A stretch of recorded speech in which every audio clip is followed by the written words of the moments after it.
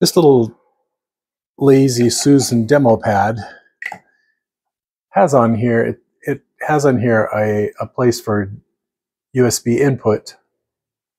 And some of the controls here counterclockwise and it's rotating at the moment. Clockwise speed. I don't know what SPU means. Hmm.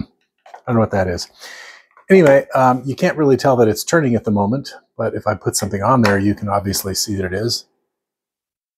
Okay there turns it back the other direction. Faster. Slower. Unfortunately, it's also telling the fan in my room here to, to speed things along. Anyway, it comes also with these different colored pads that you can place something on. So there you go. One of the things that's a little annoying about this is that it is entirely battery operated. So there's no charging, there's no recharging to it. Actually, I have to put two AAAs in this one, and then you put three AA's in this one. So it is not a rechargeable USB type thing.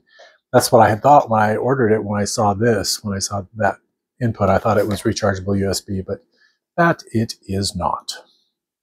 Anyway, it does function for what it needs to function for, but just bear in mind it's entirely battery operated. Cheers.